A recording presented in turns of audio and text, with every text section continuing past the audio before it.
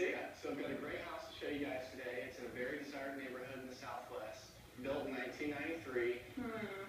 Oh. I know it's a little old, but they've done some extensive updating over the last three years, and they're only asking 277000 Oh, that's right.